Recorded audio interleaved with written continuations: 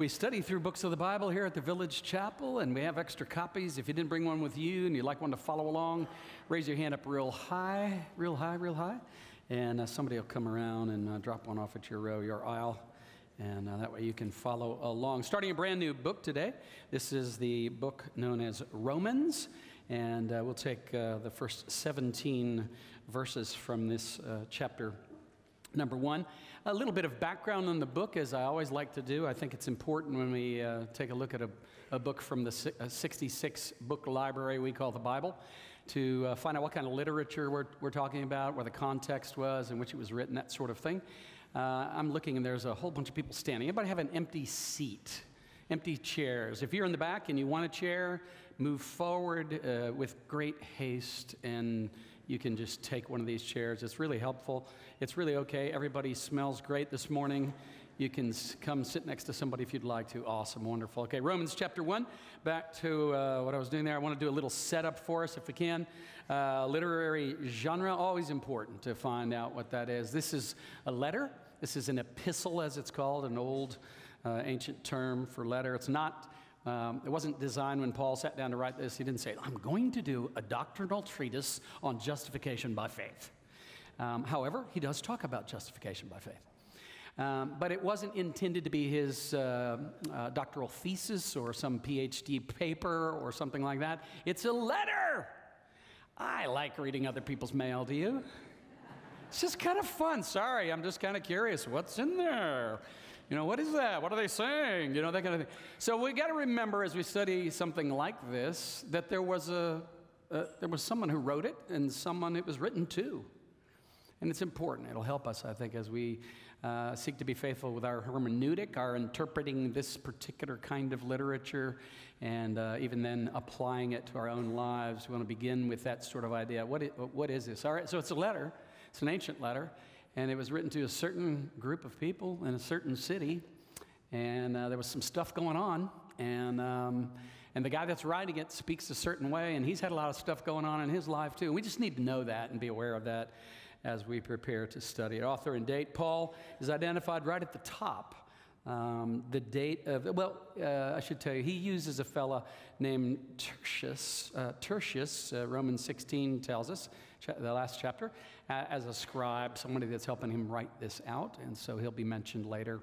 Um, he is probably writing in 57 AD. That's our best guess, I think.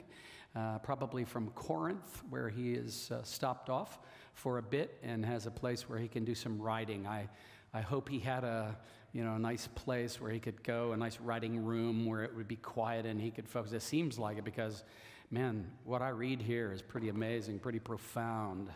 And, uh, and uh, so glad that, uh, that we have this ancient letter. Recipients, uh, his readers, he identifies them pretty much early on here, but not till verse 7. So, this is one of the longer salutations or greetings uh, of one of his letters. Uh, the first six verses are spent uh, identifying himself before he ever says, you know, two. And then he gets to 2 in, in verse 7, and we'll find out that that's all who are beloved of God in Rome, called as saints. His purpose in writing appears to me to be threefold. I mean, you could, you could probably identify his purpose a couple different ways, and different commentators uh, do indeed emphasize different kinds of things. Sometimes I think we, um, we just we're in the place ourselves where we read something and we, we need to hear XYZ and it speaks to us. And so it's profound, it has an impact on us. And that's what we remember about, for me anyway, as I read it. I, I seem to get the sense that he wants to clarify the gospel for his readers. I seem to get the sense that he wants to nurture unity in the body of Christ.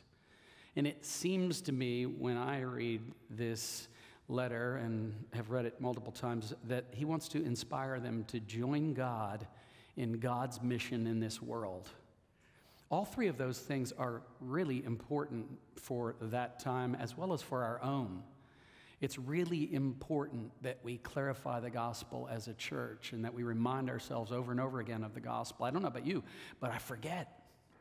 And I don't know about you, but I've been steeped in performance based living in almost every category of my life.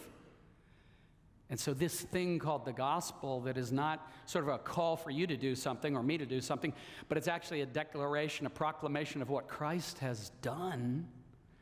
It's, I find myself having to be reminded over and over again because I, I believe in the gospel of grace, but I sometimes function as somebody that operates as if I got to earn his love or somehow or another appease his anger or somehow or another get him to look another way and, and, and not be angry at me because my concept of the gospel seems to get thinned out or I forgot it fades or it gets mixed with performance based thinking. And so it's really important to clarify the gospel. It's really important to talk about unity of the body of Christ. That's really important. All we have to work with is sinners. I don't know if you've noticed that in the church. Um, and, uh, you know, um, that means that we're going to have some friction and we're going to, uh, there are going to be times where we really need this dynamic thing called living together in the community of faith. We need that um, unifying factor that, that comes from not from us just trying to be good Southerners, but from the Holy Spirit knitting our hearts together in a powerful way that we couldn't do on our own. Uh, and we need that. So he's going to talk about that as he talks to Jewish Christians and Gentile Christians who are both living together in a city um, where the Jews in 49 AD had been run out of Rome by Claudius the emperor. He did that because Suetonius, the historian, says they were arguing back and forth over this person, Chrestus.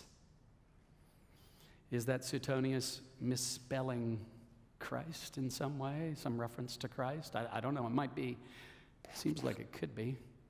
Um, but he runs Jews, and including the Jewish people who have become Christians, out of Rome.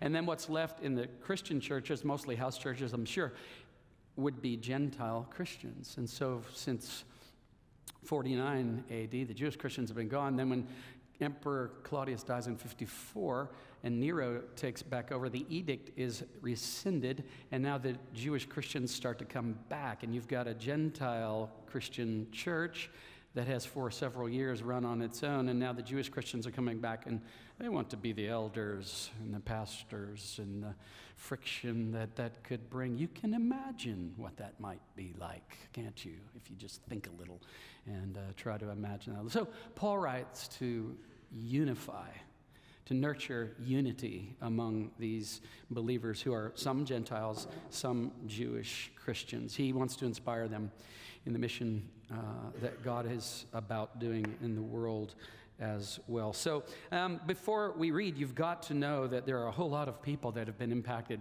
in just massive ways by the book of Romans. I mean, it goes all the way back to you know, people like Augustine, you know. Uh, people like here, this quote, Martin Luther up on the screen. Really, the chief part of the New Testament, truly the purest gospel, it is worthy not only that every Christian should know it word for word by heart, but also that he should occupy himself with it every day as the daily bread of the soul. So, for the next 20 weeks, would you come with me? We're going to eat some daily bread for the soul found in the book of Romans. It's going to be really awesome. I'm looking forward to it. It's the first time we've done this kind of literature from one of the books of the Bible on Sunday mornings. We tend to do narrative passages or ancient songs like the Psalms or some of the prophetic minor prophet books. We've done those before. But uh, first time we've done one of these epistles as, that I can recall in a long, long time. Uh, John Calvin said of the book of Romans if we've gained a true understanding of this epistle, we have an open door to all the most profound treasures of Scripture. And when you think about how many profound treasures of Scripture there are, this is an open door. Let's walk through it together for the next 20 weeks or so. William Tyndale, one of the fathers of uh, uh, biblical translation, translating the ancient uh, manuscript copies that we have into languages of the day, of the time, if you will, William Tyndale. The principal, most excellent part of the New Testament, most pure euangelion, that is to say, the, the glad tidings, euangelion, the good news. Okay? Also a light and a way unto the whole scripture, in and unto the whole scripture. So this is what he thought of the book of Romans. Um, really beautiful. Uh, let's study together for the next 20 weeks and let it be a little bit of a light uh, illuminating the way for us as we seek to understand some of these amazing treasures that are in and throughout the entire scripture. You, what would it be at the village chapel without a Stott quote? So here you go. Yeah. Um, it was Paul's devastating exposure of universal human sin and guilt in Romans 1 18, 3 to, 320, which rescued me, John Stott said, from that kind of superficial evangelism, which is preoccupied only with people's felt needs. Ooh, maybe a little uncomfortable for some of you to hear that.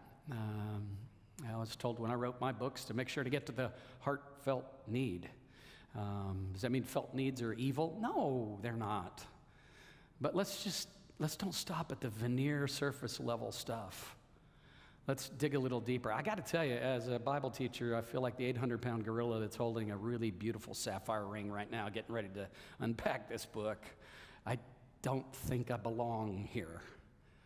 Um, it's really an amazing letter and the riches that we will mine together, I think, can have a huge impact on our lives. And one last quote from Packer before we read this text. Um, his view of the impact. All roads in the Bible lead to Romans. All views afforded by the Bible are seen most clearly from Romans. When the message of Romans gets into a person's heart, there's no telling what may happen. So if you ask, well, why, Pastor Jim, are we studying the book of Romans? Because there's no telling what may happen. At a 15 year old church, and by the way, we're 15 years old, February 11th. Yeah. So, a 15 year old church that's getting its driver's permit finally, to think that there's no telling what might happen as we study the book of Romans, I, that kind of gets me a little excited for us as a church. No telling what may happen to me as a Bible teacher, no telling what may happen to you as uh, faithful members of this church and members of this faith community. There's no telling what, man. I think he's, I think Packer's right on that whole deal. So, uh, looking forward to how Romans may provide a salubrious um, uh, uh, uh means of, of sort of a, a, catalyst to, to health, to spiritual health for us. Um, it'll have that kind of impact, I think, if we lean in uh, and receive some of the riches that are on offer to us. All right, so here we go. Verses 1 through 17, chapter 1. Paul, a bondservant of Christ Jesus, called as an apostle, set apart for the gospel of God, writing in 57 AD, all the way back then from Corinth, a city riddled with idolatry and immorality sexual perversion of every kind, spiritual distortion and manipulation of all kinds.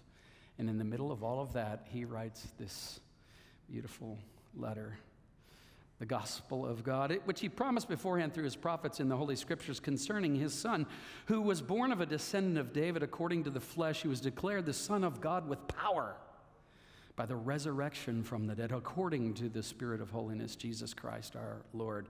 I don't know if you've connected it yet, but he keeps referring to Old Testament sort of connections to Jesus and ways that Jesus is the fulfillment of Old Testament things, like what the prophets spoke about God's promised Messiah, that David, um, one of his descendants, would be put on David's throne and it would be eternal. And this is fulfilled in Jesus Christ, who is of the lineage, the line of David.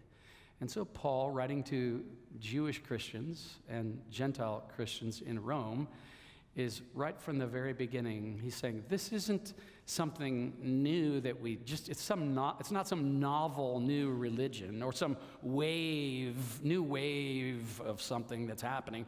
This is something God's been doing for a really long time.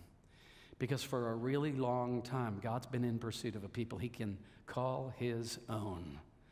And He's done everything necessary to make it possible for you and I to become His people, His sons, His daughters, not just by ownership, but by relationship. And uh, it's really beautiful that He's doing this. Through whom we have received grace. And by the way, that's the only way you can get grace. If you need grace, you can't buy it, you can't earn it, you just have to receive it. That's on God's terms. You must receive it God's way in God's way for you to uh, ever have any kind of grace whatsoever is for you to fall to your knees, lift up the empty hands of faith, and receive as a free gift something you can't buy, you can't earn, by being a good little boy or a good little girl or a good little southerner or a good little village chapelite. It's just not going to happen. You've got to receive his grace. And then you also, as a benefit, you get his peace as well. He always does that kind of thing when he talks about grace. A little few, little few verses down uh, later, we'll, we'll hear him talk about grace and peace in verse 7. So, so he's declared this Son of God, Jesus, with this power of the resurrection, which is unique in all of history, of course, that a dead man got up and walked. And I love the way Paul always connects the resurrection of Jesus to the uh, authority and the, the credibility of the gospel itself. That God has broken into history and reversed even the darkest thing that happens, which is death itself, in the person and work of Jesus. Really powerful. We've received grace and apostleship, verse 5, to bring all, uh, to bring about rather the obedience of faith among all the Gentiles for his name's sake. So it's for God's name's sake that your faith would actually turn into obedience, not just be mere academic assent or acknowledgement of the existence of God. The devil has that. But, and, and this isn't faith plus works, by the way, this is just faith that works. There's a big difference. Um, salvation is a free gift to you. You must receive it. You can't earn it or work for it. But once you receive it, there's a result to that, and it begins to change your life. Your faith in God begins to alter and, and change your behavior, your belief, your worldview is changed. Everything has changed. You become what the New Testament calls a new creation in Christ. Who doesn't need more of that? Yeah, amen. Yeah, it's good. So, um, so we have this this power of the resurrection at work in us, and Jesus Christ our Lord, and He's the, the, the, the one who God expresses His grace to us. It's given to us as a gift. And it's all for his name's sake. Verse 6 Among whom you also are the called of Jesus Christ. Two. Now we get to two. So verses 1 through 6 are all of his I'm Paul, I'm an apostle, and here's this thing called the gospel. And now two. Verse 7, finally. Again, this is his longest opening that I know of.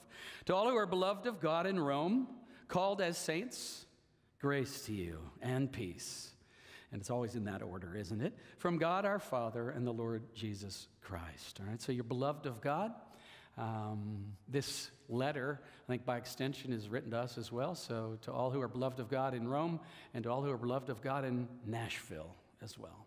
I don't think we're stretching it at all to receive that by extension as we read this and begin to study it because he's certainly going to make that point that God loves sinners uh, and that we are his beloved. That's a really, that's a life changer right there, isn't it? First, Verse 8, I thank my God through Jesus Christ for you all, because your faith is being proclaimed throughout the whole world. For God, whom I serve in my spirit in the preaching of the gospel of his Son, is my witness as to how unceasingly I make mention of you, always in my prayers, making a request if perhaps now at last, by the will of God, I may succeed in coming to you. I long to see you. Is this not a beautiful heart that is writing to these people? Beautiful pastor's heart. He loves these people. He doesn't see them as an inconvenient thing that he's got, I got to take care of, the, oh, the, don't forget the church in Rome, you know. He's not doing that. He, he wants to visit them. He longs to, he's heard of their faith. He, they're, it's, it's a beautiful relationship, even though he hasn't been there, even though he didn't found this church, he didn't start this church. Um, we'll see tonight, those of you who come back, we're going to study Philippians beginning tonight in the evening service. Paul's got an amazing pastor's heart. He loves the people that he has been sharing the gospel with. And so he is writing for the very first time and he, to, to this church and introducing himself to them. And he's talking about how he serves God in the preaching of the gospel. And he's longing to see them and to impart some spiritual gift to them. Verse 11, that you may be established. That is, that I may be encouraged together with you while among you, each of us by the other's faith, yours and mine. And so this is awesome. This is great. He recognizes, that even though he's an apostle, he too can benefit from being with them and to, to go and be with them and to, to impart some spiritual gift to them at the same time is to gain from them as well, to be encouraged or strengthened by them as well. And that's exactly why we gather every single Sunday to encourage one another, to remind each other of the things that matter, to encourage one another to have confidence in God, and to sharpen one another, and to hold one another accountable. That's why the Christian faith is really not for people who want to isolate and just kind of, you know, become some ascetic where you just withdraw from everything and, and, and, and live up on a mountaintop all by yourself. And, and, and sort of just you and God. Hey, you know, people annoy me too, you know, and I'm sure I'm sure I annoy people. I know I do, as a matter of fact. I'm positive of it. I'm very aware of it. Um, uh, and someone's thinking of you right now, actually, by the way. Just, we're, we're all in this together, okay? So, um, yeah. But we need each other. And Paul makes that abundantly clear, doesn't he, as he writes to the church at Rome. I really love this. Um, I long to see you. He wants to um, share together. Verse 13 I do not want you to be unaware, brethren, that often I've planned to come to you and have been prevent, prevented thus far, in order that I might obtain some fruit or some harvest among you also. As he's talking spiritually here, he, he would like to go and minister there and, and, and for there to be some fruit uh, uh, as a result of, of, of being there, even as among the rest of the Gentiles. And remember, Paul was commissioned by Jesus to be the apostle to the Gentiles. And so he's here, he's just in his own mind's eye, he can see how awesome that would be to be together and to minister, to encourage one another, and to, for him to start to see some spiritual fruit there as well. And I love uh, verse 14, 15, and 16, each have an I am statement. You might want to circle the I am in 14, 15, and 16. We'll talk about it just a little bit more in a minute. But he says, I'm under obligation both to the Greeks and to the barbarians, both to the wise and to the foolish. Some of your translations will say, both to the Greeks and the non Greeks both to the wise and the foolish. What's he saying here? Is there, has he got some racial prejudice against Greeks or maybe against non Greeks? What is it? Well, remember, our New Testament has three contexts. Okay? The political context is Rome, the Roman Empire is in power. It followed on the heels of the Greek Empire. And so the cultural context of our New Testament is still Greek culture. Okay? A lot of people speak the Greek language uh, in and around throughout the Mediterranean, even though it's the Roman Empire.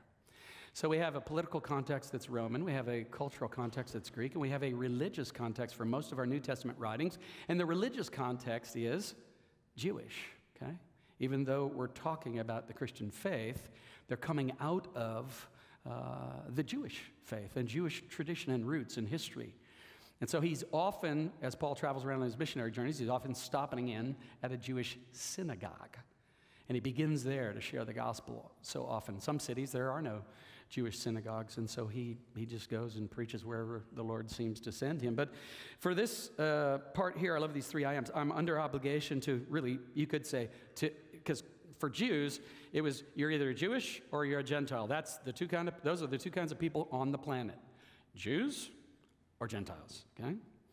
In the Greek mindset, there were Greeks and there were barbarians. They were educated with Greek culture or they weren't educated with Greek culture.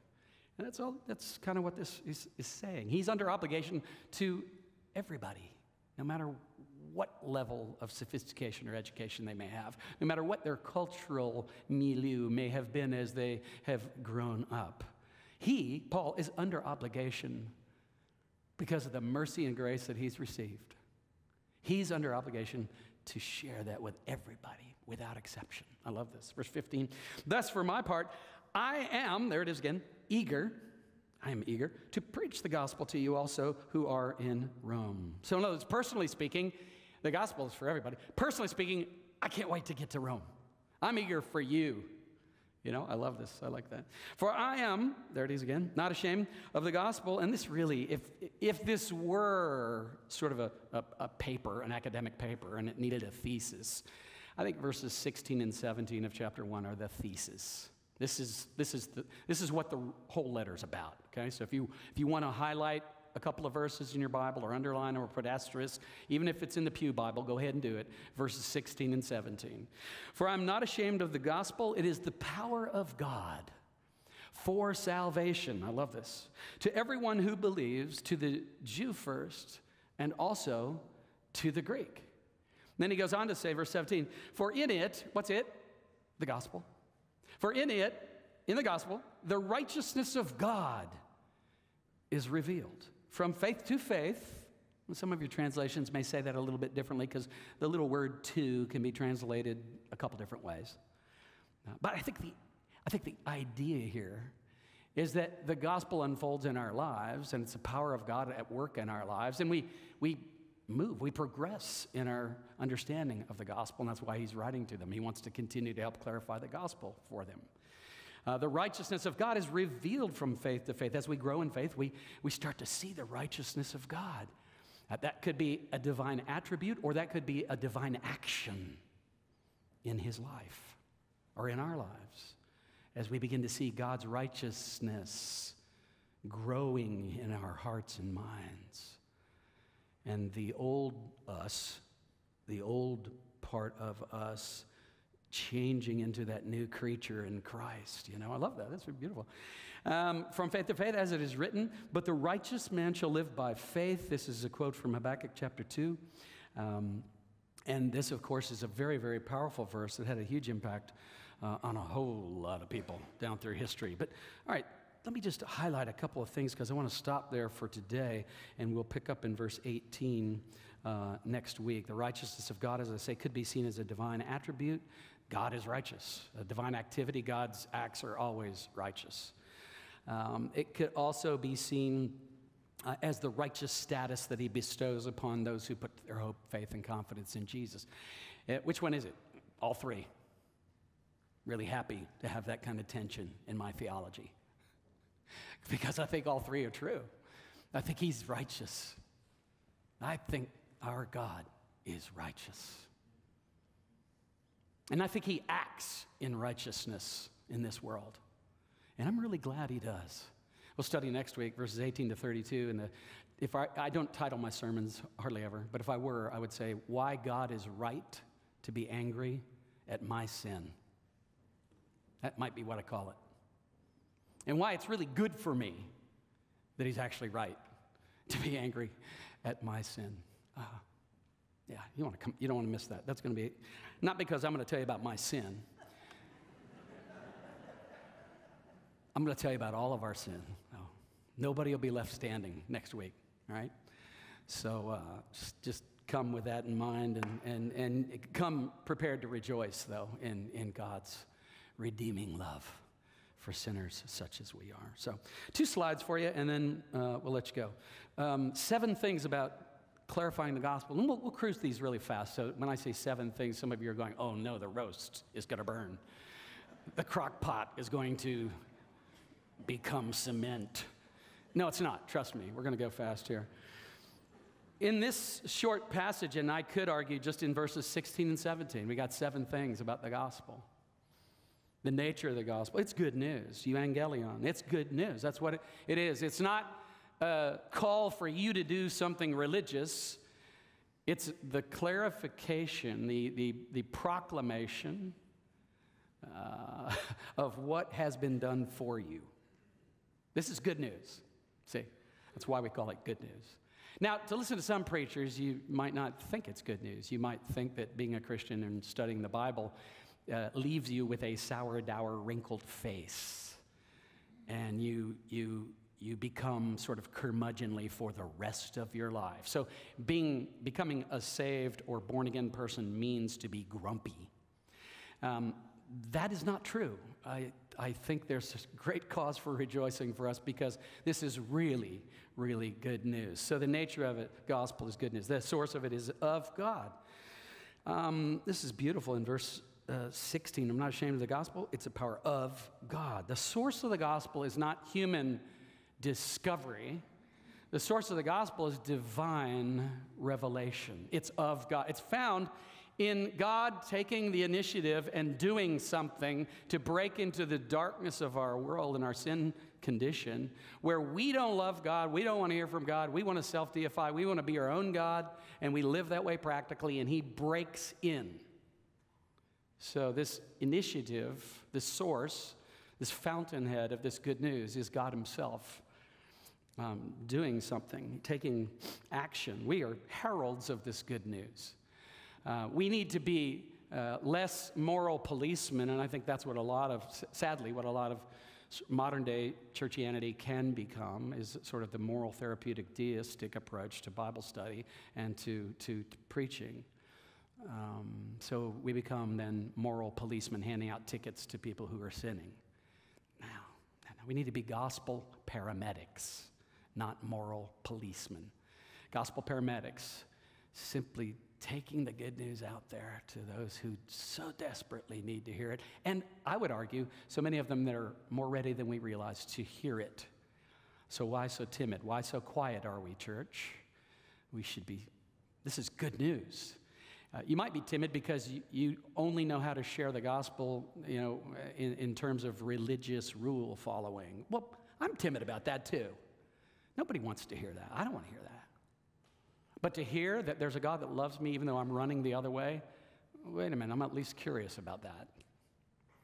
Uh, to hear that there's a God that loves me even though I'm bound up by my own addictions and my own greed, and my own arrogance, and my own lust and all that stuff, to hear that there's a God that loves me in spite of all that, that I, while I'm a sinner, He still loves me, I'm curious about that. That's good news, and it's sourced in God. The dynamic of the gospel is the power of God. So it's not just a, a, set of propositions, although I believe in propositions, but this is not a plastic propositional proposal. I love alliteration. This is not that. This is the power of God. And when we share the gospel, when we preach the gospel, there's something going on that we who are the you all of us as we're sharing we got not we're not really doing this. He's doing something. And only he can do that. I don't know if you've learned this yourself but i have learned in my own life i really make a crummy holy spirit even though i try so often to be the holy spirit. I'm probably the worst holy spirit i know. Um, um, uh, you, you, know, you may have learned that about yourself as well. Um, so resign, okay? You're not the Holy Spirit. I'm not the reason. Let's let the Holy Spirit be the Holy Spirit, okay? Let's let Him do what He does convict us of our sin, convince us of what's true, conform us into the image of Christ. That's what He does. Uh, again, moral policemen are trying to convict others of their sin. And usually all they're thinking about is what someone else is doing. They're not thinking about their own sin. They're thinking about somebody else's sin, you know. Um, dynamic of the gospel, it's the power of God. The purpose of the gospel for salvation. It says it right there. I'm not ashamed of the gospel, for it is the power of God for salvation. This God of the Bible, who has revealed himself in the personal work of Jesus Christ, is eager to save. This is the purpose of the gospel. It's good news for salvation. Who wouldn't want that? I mean, literally, I'm the dog with his head out the window at this point when I'm thinking about this. This is awesome. Who wouldn't want that for salvation as a free gift? You know, to you, to me. This is awesome, right? The scope of the gospel to everyone. This is an offer to no small group. It is a universal offer. Some will believe, others will not. Some will respond, others will not. I leave that up to God. Salvation belongs to our God, Psalm 3, verse 8 tells us. But I know that my job is simply to share the gospel and leave the results up to God. So let's do that, you know, awesome, yeah. So the scope of it is share it with everyone. The means of the gospel, who believes? Uh, the gospel is an invitation for us to believe, to repent from our self-deification, turn to Jesus as Savior, bow the knee before Him mentally, intellectually, morally, in every single way, to surrender every bit of who I am to every bit of who He is.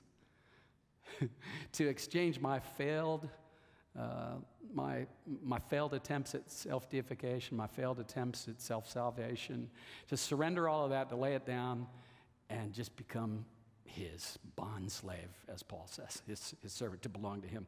It's really amazing. Um, belief, faith, trust in him. This is the means of gospel. And the center, of course, is Jesus himself. Calvin said the whole gospel is contained in Christ. It's not contained in, and you could fill in so many other things. It's just the, the, the Christian gospel is about Jesus. Okay? What do we do with Jesus? How do we respond to Jesus? Um, we get it so convoluted sometimes, especially with the forms of our faith become too important to us. You know, it becomes more important to us the, how much water we use for baptizing, or what kind of chandeliers we have hanging from the ceiling, or what color the paint is in the sanctuary, the carpet, or whatever it might be. We get so all dusted up about that stuff. And it's a far cry from Jesus, because this is about Jesus. In Romans, all sinners, meaning all people, are humbled before a holy, righteous God. Romans levels the playing field for all of us. No room for competition. Nobody is better or worse than someone else. There's no room for superiority. And by the way, there's also no room for inferiority. If you struggle with inferiority, I'm going to invite you to believe in the God who levels the playing field. And there's no room for inferiority. There's no room for superiority either, because the, all of the ground at the foot of the cross is level. And we must all come and surrender um, before Him. Hearing all of this, I think, promotes uh, all of those things that the Apostle Paul was looking to do as he uh, writes to them. He, he defines himself in at least these five ways I belong to Christ, I'm a doulos, I'm a slave. Uh, I think a lot of people are under the delusion they belong to themselves. I think we've reminded ourselves around here over and over again we don't belong to ourselves. Some of us go through life thinking we belong to ourselves. Others go through life thinking we belong to our career. Other, others go through life thinking we belong to our political views. Others go through life thinking we belong to our sexuality, whatever it might be. The Bible just says, nope. Those who follow Jesus belong to Jesus. Yeah. It's all about Him. We're His, uh, and we belong to Him lock, stock, and barrel. I'm an apostle, uh, just means a sent one. And, and there's a sense in which we're all sent ones. Um, so, in a very, very, very watered down sense, I'm an apostle, you're an apostle. Uh, but I'd probably more like a B or a C apostle instead of an A apostle. Maybe a double Z apostle, I don't know. We're way down the line, I'll tell you that for sure, yeah. Um, Paul was an apostle, though, and there's a very unique thing about the apostles. They saw the risen Lord. He saw him in a vision. Jesus appeared to him. But uh, the other uh, 11 sat around campfires with Jesus, heard Jesus preach what we call the Sermon on the Mount, saw him raise. Some of them did. Jairus' daughter from the dead, and the widow of Nain's son, and Lazarus from the dead. Saw him get up uh, from the dead himself a few days later. They saw him alive. Over 500 of them did. Um, but yeah, there's a unique sense in which uh, Paul has apostolic authority in a way that none of us ever will. But this is beautiful because that's why we can um, receive this, this faith once handed down, once for all. And, uh, and that's good. That's a good thing for us. Um, he says, I'm under obligation, I'm eager, and I'm not ashamed. We've already talked about those just a little bit, and I love that. I, I, I'm inspired by that. All of these things actually inspire me when I look at uh, him. He's not the champion or the hero, he's not my savior, but he's my older brother in the Lord. And I want to ask myself, myself and I hope us, the, the questions about these five things as we read through here. Uh, who do you belong to? You know, what you, or what do you belong to? Um, what are you sent out? What is your mission? What really is at the center for you? Of your mission in life? What makes your life meaningful? What's at the center? That's, these are good questions to ask ourselves. This is why Romans is so timeless. Um, and what do, you under, what do you think you're under obligation to do? What do you think is been you're called to do? And these are good questions. What are you eager for, and what are you unashamed? He's, he says, "I'm not ashamed." Uh, what are you unashamed about? And uh, these are great questions for all of us, I think. What would happen if every believer in the village chapel or in all of the churches here in Nashville uh, began to think like Paul here, like a follower of Jesus, that they, they belong to him, that they're on mission with him, uh, that they are inspired to work together with, like Paul does, the unity of the body of Christ. I love. I love, I have, I have some friends that are pastors here in town of other churches, get together with them every month for lunch uh, some others I get together with uh, a little less frequently. But I love the other churches in our city. I think we've got some awesome churches. This is most church city in America, actually, statistically, from what I hear. But I love the other churches in our city, and I think it's great. Let's become eager and unashamed of the gospel of grace. in Christ Jesus. All right, this is our start. So we're leaning forward as we come back next week. You read verses 18 to 32. We'll finish up chapter 1 and we'll talk about why God is right and why it's good for us that God is angry at sin and that his wrath is meted out on sin. That's a really good thing about the Christian faith. It's good news for us that he's a God like the kind of God he is, which we'll tell you about next week. Let's pray. Thanks, Lord, for this passage. Um, I'm sitting up straight myself, Lord, and spiritually, and I want to hear from you. Uh, and I want that for our church. I pray, Lord, that you would come, Holy Spirit, that as you've promised to lead us into the truth, I pray that you do that.